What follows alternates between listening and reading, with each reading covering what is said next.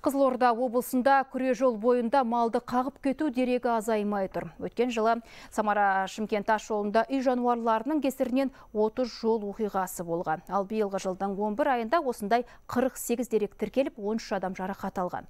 Полицейлер жол күтіміне жауапты мекеме өкілдері және жастар ұйымдары бірлесіп осындай қайғылы жағдайлардың алдын алу мақсатында жол бойында жайылып жүрген төрт түлікке жарық шағыстыратын алқа тағу шарасын өткізді.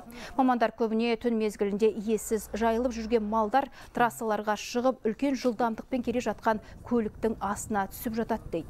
Қою қараңғыда жүргізушілерге жол үстінде мал көрінбейді.